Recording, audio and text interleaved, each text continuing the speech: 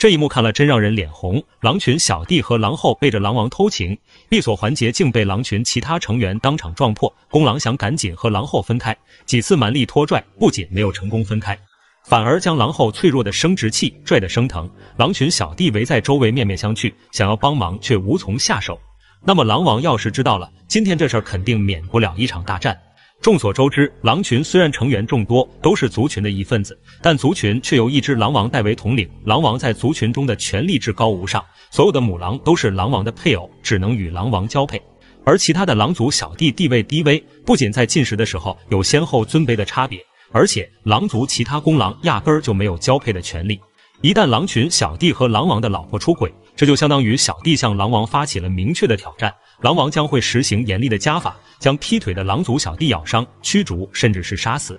这群西伯利亚野狼刚刚完成了一次狩猎，族群成员大饱口福。俗话说得好，饱暖思淫欲。这只刚刚吃饱的狼族小弟立马不安生了。族群中一只母狼已经发情，散发出的荷尔蒙气息就像迷剂一样，让狼群小弟兴奋万分。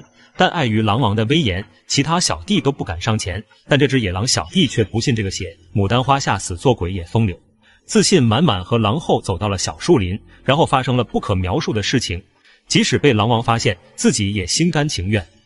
狼后和小弟背地里偷情吸在了一起，反倒被狼族小弟当场撞破。那么狼王发现之后又会如何处置呢？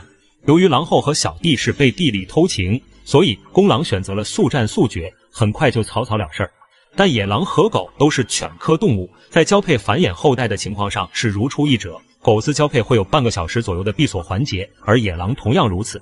没想到闭锁环节还未结束，两只野狼干出来的丑事儿就被狼群小弟撞破。小弟们好奇地打量着这两只犯忌的成员转来转去，一只小弟甚至还想拿自己的爪子扒拉他俩，仿佛要帮他俩解决后顾之忧，但却始终无法将他们成功分开。还好狼王没有回来，一旦狼王回归，野狼小弟将面临灭顶之灾。而这只黑狼同样也做了对不起狼王的事情，擅自和狼王的老婆胡搅蛮缠。狼王和黑狼当场大出手。黑狼是狼群中非常强力的一个小弟，他也有自己生理需求，但是狼王长期霸占着母狼的交配权，黑狼忍无可忍，趁此机会决定向狼王发起挑战。双方一旦撕破了脸皮，就只有决一生死。战胜的一方将会获得狼王的地位，当然也包括获得与母狼交配的权利；而战败的一方可能要被胜者驱离族群，过上独自流浪的生活，甚至有可能被狼王直接杀死，连活着的权利都有可能被剥夺。但为了日后的荣华富贵，黑狼还是义无反顾选择向狼王发起挑战。快看，这头黑狼欲火太盛，想要交配，竟然向狼王发起了挑战。二头野狼打架，咬得对方鲜血淋漓，但却没有一方愿意退缩。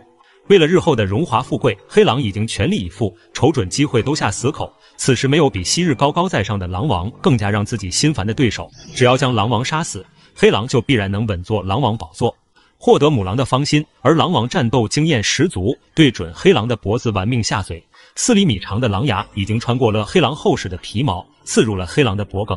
从个头对比来说，黑狼和狼王之间相差不大，体力应该也是棋逢对手。但黑狼刚刚和狼后乱搞。浪费了大量的体力，导致黑狼此时双腿发虚，没有全力应付狼王，只能找机会对狼王的腿部进行攻击，杀伤力大大降低。在狼王的极限压制下，黑狼渐渐陷入劣势，而狼王在混战中也受了重伤，伤口处的鲜血逐渐渗出，染红了灰白的狼毛。与大型猫科动物狮子相同，雄狮在进行狮王争霸时，母狮是不会插手干扰的，而狼王争霸也是一样。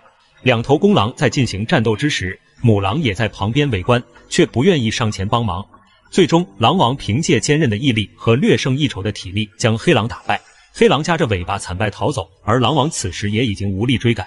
黑狼离开族群后，他的命运将变得跌宕起伏，而狼王则在生死关头再次捍卫了自己的尊严。